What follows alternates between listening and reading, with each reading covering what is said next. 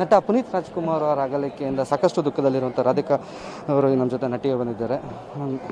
ಹೇಗಿತ್ತು ಮೇಡಮ್ ಒಡನಾಟ ನಾನು ತುಂಬ ನಿಮ್ಗೆ ಗೊತ್ತಿರೋ ಹಾಗೆ ತುಂಬ ಸಲ ಚಾನಲ್ಸಲ್ಲಿ ಹೇಳ್ತಾ ಇದ್ದೆ ನಾನು ಅಪ್ಪು ಅವ್ರ ಜೊತೆ ನಾನು ಸಿನಿಮಾ, ಒಂದು ಸಿನಿಮಾ ಆದರೂ ಅಭಿನಯಿಸಬೇಕು ಅಂತ ನಾಲ್ಕು ದಿವಸ ಹಿಂದೆ ಅಷ್ಟೇ ನಾನು ಅಪ್ಪ ಅವ್ರಿಗೆ ಕಾಲ್ ಮಾಡಿದ್ದೆ.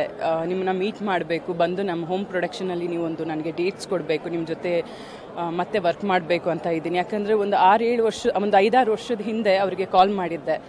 ನಮ್ಮ ಹೋಮ್ ಪ್ರೊಡಕ್ಷನಲ್ಲಿ ನೀವು ಡೇಟ್ಸ್ ಕೊಡಬೇಕು. ಆವಾಗ ಕೆಲವು ಕಾರಣಾಂತರಗಳಿಂದ ನಾವು ಆ ಸಿನಿಮಾ ಮಾಡ್ಲಿಕ್ಕೆ ಆಗಲಿಲ್ಲ. ಸೊ ಈಗ ಬಂದು ಮಾತಾಡ್ತೀನಿ ಅಂತ ಹೇಳಿದ್ದೆ. ಬಟ್ ನಿಜಕ್ಕೂ ಪುನೀತ್ ಅವ್ರನ್ನ ಈ ರೀತಿ ನೋಡ್ತೀನಿ ಅಂತ ನಾನು ಯಾವತ್ತೂ ಅಂದ್ಕೊಂಡಿರಲಿಲ್ಲ ಕಡೆಯ ಬಾರಿ ಅವ್ರನ್ನ ಭೇಟಿಯಾಗಿದ್ದು, ಅವ್ರ ಜೊತೆ ಮಾತಾಡಿದ್ದು. ನಾವು ಭೈರಾದೇವಿ ಶೂಟಿಂಗ್ ಮಾಡೋ ಟೈಮಲ್ಲಿ ಕಡೆದಾಗಿ ಅವ್ರನ್ನ ನೋಡಿ ಮಾತಾಡಿಸಿದ್ದು. ಅವರು ಅಶ್ವಿನಿ ಅವರು ಇದ್ದರು ಅವ್ರ ಮಕ್ಕಳಿದ್ರು ಊಟಕ್ಕೆ ಬಂದಿದ್ರು. ಆಗ ಎಲ್ಲ ನಮ್ಮ ಟೀಮ್ ಜೊತೆ ಎಲ್ಲ ಸೇರಿಕೊಂಡು ತುಂಬ ಹೊತ್ತು ಮಾತಾಡಿದ್ರು. ಎಲ್ಲ ಫೋಟೋಸ್ ಎಲ್ಲ ತೆಗೆಸ್ಕೊಂಡ್ವಿ. ಆ ಫೋಟೋಸ್ ಕೂಡ ಇದೆ ನಮ್ಮ ಹತ್ರ. ಅದಾದಮೇಲೆ ನಾಲ್ಕು ದಿವಸದಿಂದ ಫೋನಲ್ಲಿ ಮಾತಾಡಿದ್ದು. ನಾನು ಬಂದು ಬ್ಯಾಂಗ್ಳೂರಿಗೆ ಬಂದು ನಿಮ್ಮ ಹತ್ರ ಮಾತಾಡ್ತೀನಿ ಮತ್ತೆ ಇಮಿಡಿಯೇಟಾಗಿ ಶೂಟಿಂಗ್ ಸ್ಟಾರ್ಟ್ ಮಾಡೋಣ ಅಂತ ಹೇಳಿದ್ದೆ. ಆಯ್ತಮ್ಮ ಬೇಗ ಬನ್ನಿ ಆದಷ್ಟು ಬೇಗ ನಾವು ಸಿನಿಮಾ ಶುರು ಮಾಡೋಣ ಡೇಟ್ಸ್ ಕೊಡ್ತೀನಿ ಅಂತ ಸಹ ಹೇಳಿದರು. ತುಂಬ ದೊಡ್ಡ ಹೆಸರು ಮಾಡಿದಂಥ ನಟ ಸರಳ ಜೀವಿ. ಬೇರೆ ಸಿನಿಮಾ ಜೊತೆಗೇನು ತುಂಬ ತುಂಬ ಆ್ಯಕ್ಟಿವಿಟೀಸಲ್ಲಿ ಭಾಗಿಯಾಗ್ತಿದ್ರು. ಕೆಲವು ಶೋಗಳಲ್ಲೂ ನೀವು ಜೊತೆಯಲ್ಲಿ ಅವ್ರ ಜೊತೆ ಇದ್ರಿ. ಆ, ಅವ್ರ ಜೊತೆ ಮರಿಲಾದ ಘಟನೆ ಒಂದು ಯಾವ್ದಾದ್ರು ನೆನಪು ಮಾಡ್ಕೊಳ್ಳಿ ಅವ್ರ ಜೊತೆ ತುಂಬ ವಿಷಯಗಳಿದೆ. ಅವರೆಲ್ಲರ ಎಲ್ಲರ ಹತ್ರನೂ ತುಂಬ ಹಂಬಲ್ ಆಗಿರ್ತಾರೆ, ತುಂಬ ಸಿಂಪಲ್ ಆಗಿರ್ತಿದ್ರು.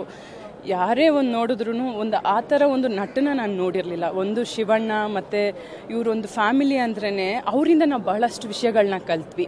ಎಷ್ಟೇ ಎತ್ತರಕ್ಕೆ ಬೆಳೆದ್ರೂ ನಾವು ಫ್ಯಾನ್ಸ್ ಹತ್ರ, ಜನರ ಹತ್ರ ಹೇ ಎಷ್ಟು ಸಿಂಪಲ್ ಆಗಿರಬೇಕು ಅನ್ನೋದನ್ನ ಅವ್ರ ಹತ್ರ ನೋಡಿ ಕಲ್ತ್ವಿ. ಕೆಳಗಡೆ ಕೂತ್ಕೊಂಡು ಊಟ ಮಾಡೋರು, ಯಾರು ಒಂದು ಚಿಕ್ಕ ಮಗು ಬರಲಿ, ಒಂದು ದೊಡ್ಡವ್ರು ವಯಸ್ಸಾದವರೇ ಬರಲಿ ಎಲ್ಲರನ್ನೂ ಒಂದೇ ರೀತಿಲಿ ನೋಡ್ಕೋತಾ ಇದ್ರು.